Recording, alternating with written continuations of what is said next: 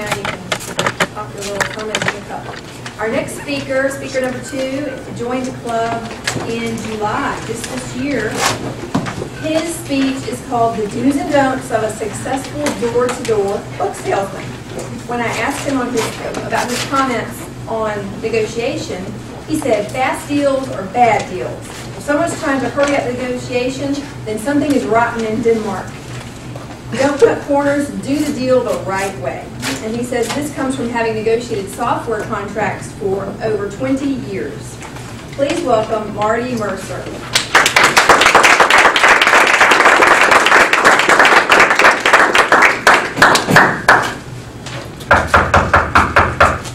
Somebody's at the door. Who is it? I want to know the door-to-door book salesman. What the heck is he doing now? Well, he, he kind of looks clean cut. and He's smiling. Well, let him in. Fellow Toastmasters and welcome guests. How many times has your perfectly normal day been ruined by that rap, rap, rap on the door? And you look at now it's one of those pesky door-to-door. The question is, how many of you have ever been on the outside trying to get in? How many of you have ever sold books or anything door to door? A lot of you, very good. Well, I have sold books door to door.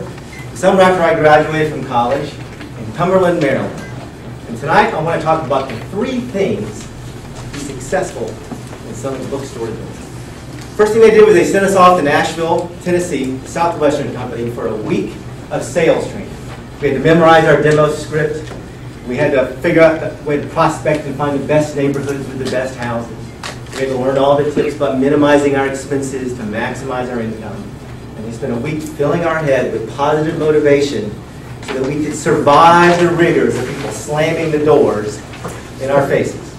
Now, I know you don't have time to go spend a week in sales school, and you certainly don't want to spend 12 weeks honing your skills to do that. So I'm going to share with you these three important tips. Tip number one, be brave. When you walk through those houses with the wild dogs chasing after you, the feral cats coming after you, you have no idea who's about to answer the door. Like the guy that answered the door with a beer foam mustache at 8.15 in the morning and invited me in to share one with him. Like the house where the woman opened the door in a see-through negligee. And she invited me in so that she could check out my inventory.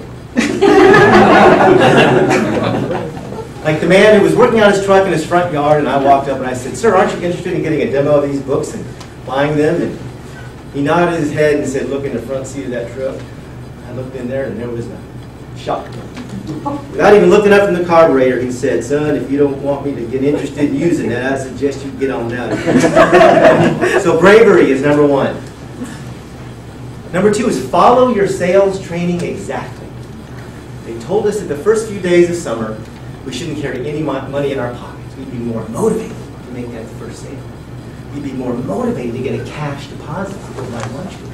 So I did exactly what they told me to do.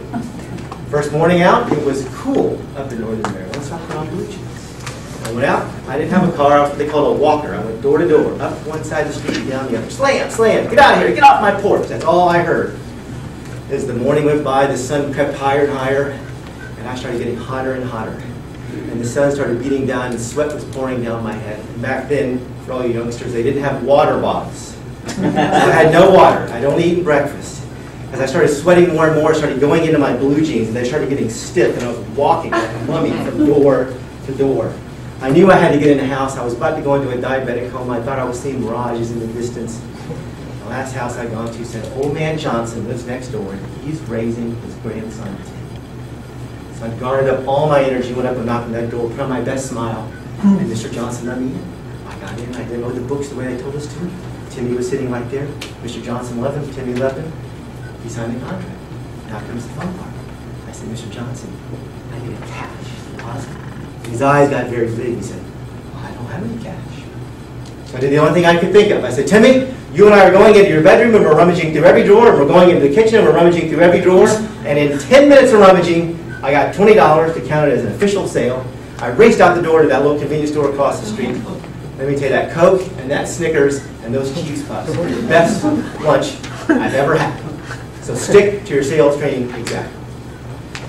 The third thing, don't rely on that smart alecky ad lib capability you might have. Went to a lady's house later in the summer, and Mrs. Smith knocked on the door, got in, and started what was the perfect demo. They told us to sit on that box of ours.